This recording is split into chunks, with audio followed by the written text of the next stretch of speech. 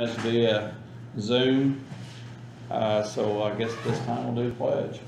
I pledge allegiance to the flag of the United States of America and to the republic for which it stands, one nation, under God, indivisible, with liberty and justice for all. All right, Assuming we're turned on. all right, so I think we're all here, the only people here are here for the reasons where it's on the agenda, so I'm not gonna go through my spill with, anybody got anything, so. Um, looks like, uh, we need to do a little house cleaning on the roof project that we have. Uh, and not necessarily the roof project we have as far as, uh, replacing the roof, as far as the construction part of it.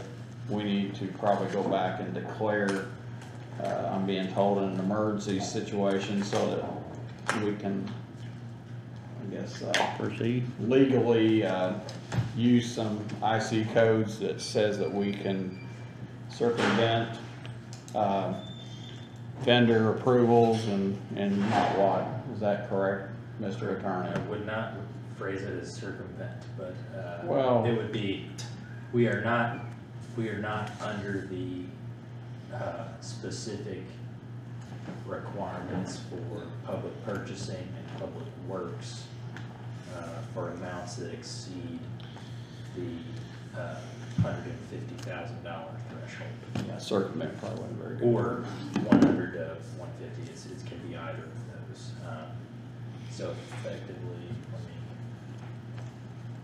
but yes, that's correct. And then I think as for context, correct me if you guys remember better than I do, because I was sick at a couple of those meetings that were occurring around the time that uh, we first received notice of some of the uh, potential issues with the roof, but um, there was a special joint meeting of the council and commissioners following a uh, emergency session for the commissioners, uh, at which it was discussed that uh, we would, I think there were a couple of things that were discussed. It was potential use of ARPA money, but also um, Setting up the courthouse, the mass setting park. up the courthouse. There've been some, a couple kind of corollary issues that we've dealt with as we've gone, but I think everything was done with the understanding that at that first meeting, um, the structural engineer who was, uh, available via telephone basically informed us that there was an imminent issue regarding the roof. Um, Particularly, I think the weight per square foot, if I remember correctly, and that, um, Yeah, it's had fifteen some pounds. safety per foot. questions and other things, um, and, uh, I think following that, Judge Mount issued a, uh, Order. emergency declaration order for the purposes of continuation of court services and hearings. Uh, And, uh, after talking with the structural engineer and realizing kind of the serious and immediate need that we were under, uh, there, I think, was a, uh, consensus that this was an emergency situation. Um, But in order to affirm that uh, consensus, we want to make sure that we uh, actually declare this to be an emergency situation for the purposes of special purchases uh, under the Indiana Code. If I might add, council, that on April twenty-second, twenty twenty-two, that date was referenced by Judge Mount of that commissioner and council joint session. And also at your table there, four twenty to four twenty-nine were the dates covered by DLZ, so I think April twentieth might be the better date to go with. Yeah. Uh, Yeah. And I just wanna clarify something when I said circumvent, which means sometimes you could s- say you're trying to s- skirt the law or whatever. Sure. And I, uh, would like to change you're that to the, fo- to the point where I'm, you know, we're doing everything legally here, um, and probably above board uh, at Yeah, every if step, we- so. We've taken, you all have taken some steps to make sure that we got a smooth, uh, transition to get the design release, um, from the structural engineers. Uh, Were you copied on I don't that? It believe was sent so. yesterday, so. Okay, I don't think I was I'll, copied. I'll Uh, send that to you. But following that, uh, we've done what's required for the purposes of submitting, uh, the design specifications to the Indiana Department of Homeland Security and are just awaiting a, uh, design release. And, um, so we're going through all the steps as we would and have not, you know, made any final You determination at this time. Okay, Which particular group we would be I just sent that to them. They said it would take seven to ten days to, to get that release, so. uh, So anyway, I guess at this point, um, You talking about the Homeland Security, seven, ten days? the, Um, the So I think this. engineer design re- release was sent from our, our structural engineer. And it was sent to the state to get a release so that we can proceed with the project we're doing. So I think specifically it's Indiana Code five twenty-two ten four A that discusses purchasing agents for purchasing agencies, which, um, you all are the purchasing agency for the county. Um, If, if you were to approve this as a declared emergency, particularly, I think in this case, it would be, uh, safety issue, basically, um, for members of the courthouse. um, We can move forward with the next steps in the process. So is this by just us saying it is, or You do can we can, do move we to- have to have like a ordinance, a document or anything? We just I say, think, uh, let me.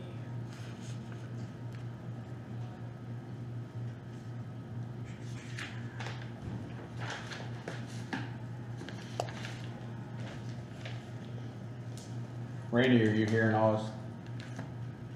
Uh, yeah, we went silent there just for a second, but So I think that we will need to have a written determination of the basis. There a resolution or order? There's, there's no necess, not necessarily by resolution or ordinance, Declaration of, but just a declaration of emergency. I think a resolution is, So we can would be pass, fine. we can verbally say it today, pass it, and then on the eleventh, when we come back, we can sign a document then. Um, but the written determination will need to be kept in the file, um, for the purchase with the contract, um, and any, any related materials. I know that there's some separate work being done that we're not necessarily talking about. We're really talking about the structural repair part. repair part. Okay.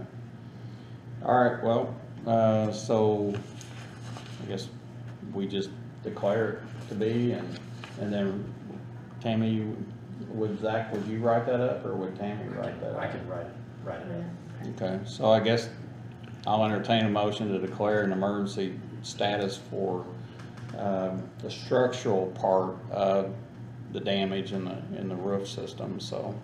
And I, I, I'm all for that. I'm, is that just like, I'm not sure what that allows us to do outside to get started? Is that what it does? Um, it suspends the requirements under the regular purchasing laws. So, um, particularly that notwithstanding any other provision of this article, um, a purchasing agent may make a purchase under this chapter without soliciting bids or proposals. So normally, um, if time was not of the essence, if we didn't have a safety issue like we do, um, when doing public works, you would do, or a, a, project that would exceed hundred and fifty thousand, you would, um, go through the steps for soliciting, uh, sealed bids from vendors, either for public work or a purchase of materials. In this case, this is a special purchasing method that falls outside the scope of that particular requirement. I still think that, um, you consider prices and things like that before you Well, we, eh, just to clarify that, I think the only thing would have been different is if we'd have took sealed bids. We did go to two, two different people and, and get quotes. And then we took the lesser of the two, I mean, Yeah, I don't think So- we've approved any of that yet. So we won't have to do any sealed bids if we declare this an emergency, we can just hire somebody? Correct. Cause that, that, there's a special provision in public purchasing, Indiana code section that allows for you to expedite It's five twenty-two ten is the full, uh, addressing Chapter. an issue, right?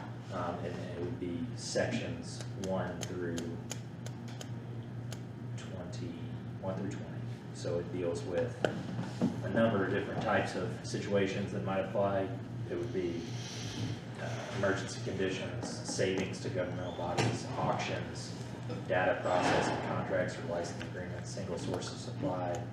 Purchasing method would impair the function, uh, of an agency, which in this circumstance may be also particularly applicable because it's impairing the ability of the circuit court to bid. And if we hire somebody, that doesn't necessarily, that bid isn't necessarily something they can't go over. It's basically a bid that we're gonna try to do within this price. I mean, bids are not locked in at that price, are they? Uh, I believe they are actually. So if they can't go over that price without our approval, There's, there's. I a- thought there was, There's a deviation section. um, To answer that question, I would need to review that, but I mean, that's kinda common for people to quote a price and then come in later and go, eh, you know, didn't, I missed this, or, Well, common, I would say correct in private bidding. Well, not private bidding, but when you're. That's correct, I mean, there are alterations, but usually that's, that criteria for determining like the, how much you can go up or down, deviate is contained somewhere inside of the bid. okay. Um, I will it says here, and I, and this is through Thomas, is all work quoted money through Friday within normal business, access to area, mu work must be uninterrupted to avoid additional charges. Uh, And it's, uh, Thomas require a third payment with PO, third payment upon completion, and third, and a third within thirty days, so. um, Looks to me like it's provide labor, equipment, materials, so I don't know how much deviation, I mean, unless they, we know what it is, so. This would be like a just, I have to sit down. Okay, so, um, On, on them terms, Mike, uh, Jason said that, that, that's just basically how they normally, he normally writes it up, but that's negotiable on the terms. I'm sure, uh, that's fine, I mean, I was just trying to get at the point that this quote, bid, or whatever you wanna call it, is a factual number, and that's what they're planning on charging us, so. Does it, Yeah, does their quotes have to, or the bids or whatever they are, do they have to, since this is go, has to go through the state or whatever, does they have to, those have to go presented to them, the state, to know how they're doing it, or is that just the engine, engineering part? The engineer part, uh, they had to put a, an estimate of what the project cost was, and I, you know, um, I think that was like two hundred thousand dollars what we put on that, I mean, it's cause, and I say that because of, of what, I guess to be on the high side, Right. of to say that that's what, uh, royalty roofing came in with two eighteen, I mean, but so, that's why, you know, I just told them an estimate of two hundred thousand dollars, so. Yeah. If it goes under that, I don't know what the big whoop would be, I mean, I mean, I don't even know what the, what the whoop of the price of it is anyway to the state, I mean, especially on the engineered project, what, whether they care what it is or not, I mean, I just didn't know. it was- there's just a blank there, so. So I guess, uh, John, I mean, did that answer your question? I think so. Uh, I, I don't, I've I've read this and it, it's, I think it says they're gonna do everything, but it doesn't get down to the nitty gritty of what they're gonna do. It Basically says we'll do the work for less than a hundred thousand dollars. Yeah, And, um, and I, uh, they've done a lot of other kind of work, haven't they, Randy? I'm sorry. Hasn't Thomas done a lot of other kind of construction work? Oh, yeah, yeah. I mean, just curious. I thought they had two, but I don't know of anything they, what they've done. Yeah, they, they've done all kinds of construction work, I mean, you know, they're, they can, they can build factories, I mean, and, and have built, uh, additions on the factories. Uh, they set cranes, um, all the time, it's, they definitely have the ability to pull us off, Okay, and the equipment. okay. So I think Mike called for a motion about declaring emergency effective April the twentieth, based on the, I guess, That's the when. opinion of an engineer that we had a structural emergency. That actually is that Tuesday after, I think the nineteenth was on a Monday and we had him here Tuesday, so. Tuesday, is that the good date then? I, I would, Thank you. I'm comfortable with that. Okay. Okay. So you need a motion, you asked for a motion. I'm, I'm requesting it or asking someone to make a motion to accept, um, a declaration of emergency status for the, for the courthouse, uh, roof, uh, damage construction, I'll say. Is that, now you said effective back to what date? Four twenty, Yes. twenty-two. I'll make that motion. And I'll second it. Randy makes that motion, and Randy, or John seconds that, and I'll make that unanimous, so. I guess, uh, for everybody's information, we'll, we'll have that document drew up, and then on our July eleventh meeting, we'll, uh, sign that, but we've already ratified it, so. Okay. All right, uh, second thing on here is the vendors for roof structural repair. Uh, I guess, uh, I know last time we talked about Thomas Plastics and we also talked about Royalty Roofing, or Royalty Roofing had a price of, if I remember right, two eighteen, two hundred and eighteen thousand dollars to do uh, the roof removal down to the original roof and to, uh, structurally support and repair the beams. Um, I thought that was a little high on mine, or what I thought, and so I'd actually asked Royalty to go back and ask Josh to reach out to Royalty and have them give us a quote for only roof removal. Um, and they did, and I think that was sixty-five, sixty-five thousand dollars. So if everybody's fine with this, I mean, I'd, I'd like to go with Thomas Plastic, uh, Machinery Incorporated for the, for the securing the, the, the seal, or the roof beam, and then repairing the roof beam after the roof has been removed, and to have royalty remove the roof, so. If anybody's got any comments, input, or what? Well, no, I, I like the fact that we're doing this for less than half what the previous bid was. And I really like the idea of somebody local doing it. Yeah, So if you need a motion, I'll make it. I'll entertain a motion for, if we wanna group them together, cause, I mean, it's one project, I think. Yeah. So John's gonna group them together, Randy, so, John's Yeah. gonna, John's gonna, go ahead, I'm sorry. Go ahead, Randy. I'll, I'll make a motion to accept, um, the, the two, uh, entities doing Okay. the work. All right, so Randy makes a motion to accept Thomas Plastic Machinery Incorporated to do the, do the, uh, floor support and then repair the, the damaged, uh, beam and then, uh, also to hire Royalty Roofing to remove the roof Yeah. after the floor has been secured, I guess, or the ceiling has been secured, the beam has been secured. And then royalty can come in and take the roof off down to the primary roof, primary decking. So, John, And, I'll uh, make, I'm, oh, I'm sorry. Randy made the motion and John seconds that and I'll make that unanimous. Okay, now, Um, make sure that for all of the votes today, that they're recorded,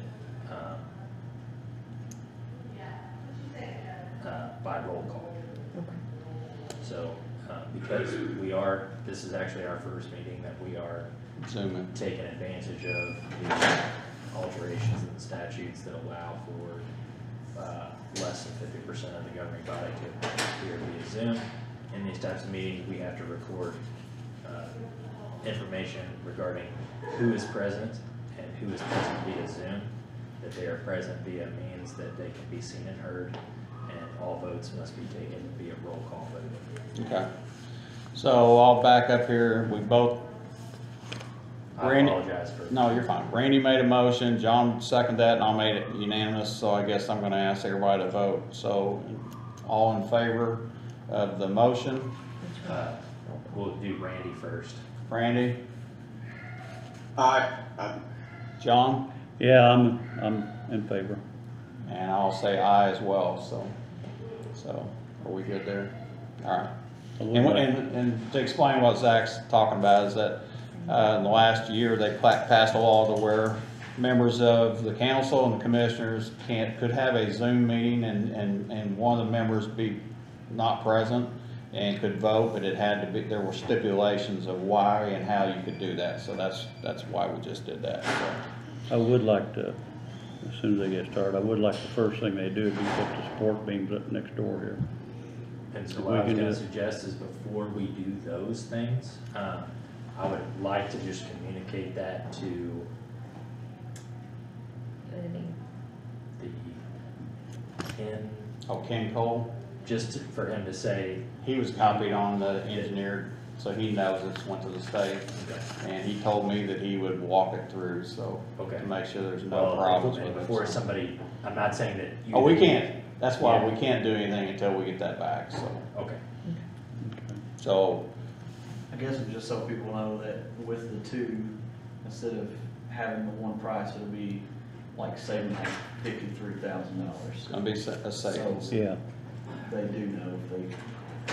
Yeah, there is a And- And savings. there was not just two, we did have three to four people, but two, two of them said, It's actually, too when they big. looked at it, they was like, no, just so people know, we did reach out to other, Oh, there was, there were two Other other people. contractors besides the two that had, gave a bid. I think there were some that just could do, That do they- the work and, like, not necessarily this job, but they had other jobs. They had other that were- jobs, yeah. one of them came in, said it was too Yeah. big. Yeah, so we, we did shop around, I mean, it, it wasn't that we just found somebody, so. you know, the- what I found out was it wasn't that they didn't wanna do it, cause they're just too busy doing it right now. Yeah. Well, And one they're, and of they're them short of was- help. Yeah, one of them was short of help and the other one, uh, Yeah. said he was busy building houses, so. So, you So know, we I- did do our due diligence, I, I believe. yeah, Uh, Randy, I know you said earlier, and I'm gonna let Zach answer your question about, um, setting, I guess have Thomas come in and set the, set the beams and stuff, set the beams and stuff, or, you know, the supports and stuff. well, no, I was so- saying, we could, yeah, set the supports and then once the supports are set, royalty roofing can come on in and, uh, get the decking off and, and get the shingles off. And then at that point, uh, we can see where we're at as far go ahead and order the LVL. Well, I will clarify that, or, or just add on to what you said. I, I, I think what I see part of that is that if we can, if we can use Thomas to, to support it, they're not gonna touch the beam, but they're gonna support it. And then, at that time, royalty could take the roof off, which has nothing to do with the structural engineer part of this. I mean, Yeah, and I think that the, this, the, my only question, or I guess in reading into some of the communications with Indiana Department of Homeland Security was that their specific requirement dealt with structural alterations, that's, or alterations that might affect the structural integrity of the building, or the roof, or a piece or part of the building. Um, So, that I don't think, that's a separate, the other work that's being performed is a different issue. Um, The, so you'd be comfortable with having Thomas come in, put their supports up, not moving the beam or anything, just supporting, uh, the structure, and then letting, cause see, royalty said they wouldn't get on the roof until they had those supports in place. I would wanna clear that with, that that's okay. I don't see why that would not be okay, I guess, from, Yeah. you're not, again, making alterations to the building.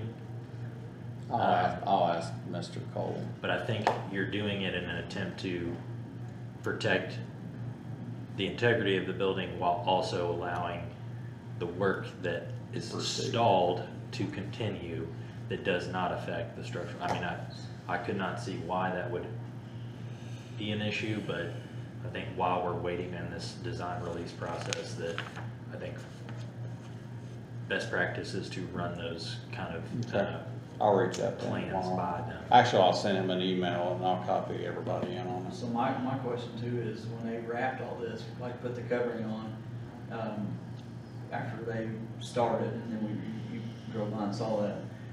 When they tear all that down to those initial one bys or one by twelves or whatever they are, um, I assume that they'll wrap it again, but. It's, is they're that gonna going- wrap, that's in part of Is the that process. going to be, once they start, you know, cranking up and jacking, is it gonna mess the top up to where they have to wrap it again? No, Yes, that, that's well, my I don't thing. know about that, I don't, s- I don't, s- Cause like right now, we're not leaking, Yeah. so I Oh, I don't, get I don't that. want them to do it, and then all of a sudden we get a bad yeah, I get that. storm and. I don't, well, I don't see royalty being here tomorrow, I see, you know, they're gonna be a week out. Right, So it's gonna be just maybe a few days that they're gonna be in an advantage to doing something that's, you know, in my opinion, but, but they are, they will put another coating. Well, that's what I figured, but I didn't want it to be like that. If they put some on it, then they gotta tear it back off once they start jacking it up and putting the new back down, Yeah, it's like, To answer your question, I have no idea. I oh. That didn't answer the question. So anyway, all right, well, then well, I guess we've done that, so let's move on to the last thing here. Go ahead. Go ahead, Randy. Expect roofing company, I would expect a roofing company to have parts. In, you know, in that situation. Okay. Well, it's not like royalty doesn't know what, what process we're gonna go through here, so I mean, Exactly, exactly. so, anyway. All right, on the third thing here, consideration of the claim payment to DLZ for five thousand eight hundred ninety-eight dollars and eleven cents. This actually, to clarify for everybody, uh, this was the original, uh, engineer that we called, uh, when we found out that we had a broken beam. And, uh, Mis- Mr. Elliott, actually his name was Elliott, wasn't it? Elliot Allen. Elliot Allen, that's correct. Elliot Allen came down, you know, pretty fast. He was here the next day, gave us a, a lot of it, uh, good information and, um, and, uh, just felt like, uh, we needed to go in a different direction because of just timetable, I guess. He was talking several months and, and it's been several months now, but not because of him or anything else, but, but anyway, uh, this is for uh, the original, uh, drawings and, and stuff from his company, so if anybody, I'll entertain a motion to accept this payment to him. Five thousand eight hundred ninety-eight dollars, eleven cents, is that correct? From ARPA. Yeah, I, I'll make that motion. John makes a motion to accept, uh, the, the, or to pay the, uh, invoice for DLZ Con- Engineering for I, s- Randy. I second that. Randy seconds that, and I'll make that unanimous, so we can get him paid. Again, this money's coming out of our, our money, our money, so. Do That we been need to, approved by do the we need to council? do another vote on that? Was this for, The I body apologize. It's, it's paying, this invoice. appropriated seven hundred for this Um, project I would do the roll call approval again. Okay. All right, because of the Zoom call, we're gonna do a roll call here. Uh, Randy, how'd you vote? Randy? What was, what was your question? Uh, we gotta do a roll call vote because you're on Zoom, so how do you, how do you vote on paying this invoice? I, I agreed to pay the invoice through ARC money. All right, DM, John? Yeah, I agree, pay the invoice, five thousand eight hundred ninety-eight dollars, eleven cents to DLZ for the work done. All right, and I'll make that unanimous. I, I agree too, so, so there we go, we're official. And, uh, I have one other thing, and obviously I'm I'm not asking for any action, but I did wanna let you know that, um, I believe that there are, obviously, we've moved the circuit court to the Mass Park, um, area, and I think though the area that we've reserved on a regular basis is sufficient for most of the court operations. There are some jury trials that will be scheduled for next month. Obviously, I think the court will still be located out there, um, at that time. And the, there will need to be some additional space for the purposes of jury selection. Um, And for that, I think you have already um, after looking at things and actually having, uh, sound input from, uh, Tammy, that, uh, you've already approved expenses as related to the court operations over there to be submitted, um, and paid out of the ARPA funds. But just to let you all know that there is, in this instance, just going to be a potential like additional, uh, uh, request or, or claim or payment, uh, all the above for that additional space for a brief window of time, and then it will go back to the normal, uh, occupied space, and then it could obviously come, come up down the road, but, Well, um, maybe the mayor won't charge us. I think it's a, I think it's a Two hundred and fifty two hundred dollar and fifty dollar minimum this is minimum gonna cost payment, us. yeah. Okay. Jury selection, so that two hundred feet per day, or, No, I, just, a- I think it's for a, uh, window of time, yes, a reservation. let me, okay, That's, that's what, if, if the jury trial is not yeah, activated, I'll call it, or whatever, all we stand to s- spend is two hundred and fifty dollars. if the jury trial does go, it could be, For however many days it is, there'll, there'll be a uh, charge. we don't know how much. I think I've got an email in there that kinda outlines it, um, but there's about three or four, isn't there, Zach, that could come to well, the way. an that intersection? Works is that, uh, you'll have multiple cases kind of stacked on a, uh, docket for a particular trial day, and, um, you may have some cases that say, you know, call ready for trial versus others that maybe are still working through some Mhm, potential issues or whatever, or, or, um, could also be resolved, right, prior to trial. Um, so that all depends on a lot of things that obviously we, um, don't know about, but, um, it is a, it is a per day, um, charge of five hundred dollars. Um, Normal deposit would be two fifty, but there may be potential to waive that if they learn soon enough of the, that there will not be a trial going, but that all depends on things that are kind of outside of, um, the county's, uh, control to a certain degree. And I don't think we'd have a lot of choice, we'd have to pay it. I think Uh, that's it'd it'd be kinda nice to know how much. And it's just, there's, since it's tied to this relocation due to the emergency. And that would be it's all ARPA money too? done with the dir- It's Yes, all tied to the, uh, yeah. Okay. Zach, will you communicate that, communicate that to Judge? I will. Okay.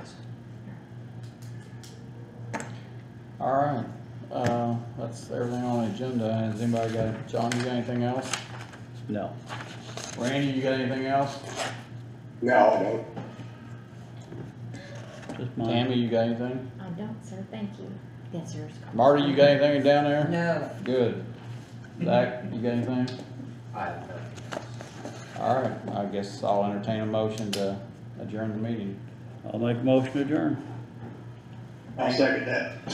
John made a motion to adjourn, Randy second, I'll make it unanimous, so. Do we have to do that by voice vote? All in favor? Raise your hand, Roll call vote. I'm for it. Yeah, yeah, yeah, we got all three of them. Kill the owl.